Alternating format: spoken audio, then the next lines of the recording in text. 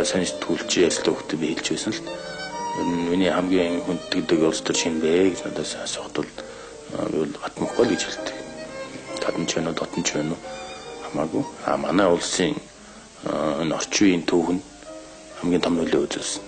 Тэрний хувьд энэ арчил зах зээлийн зам шилжчихэд энэ 50 замын яг эхлэлийг тавьсан. Мэдээж яриг миний ойлгож байгаа бол тэр үеийн манай одоо хоёр талын байр суурь байсан байна. Нэг хэсэг нь бол одоо энийг бол өчигдөр дарчхан зүйтэй нийт хүмүүсд яах гэдэг юм. А гэтэл хамгийн шийдвэрлэх саналтай юм бол мэдээж бодохгүй байсан. Тэр яг энэ шийдвэрийг гаргахад бол голлох нөлөө үзүүлсэн тодорхой.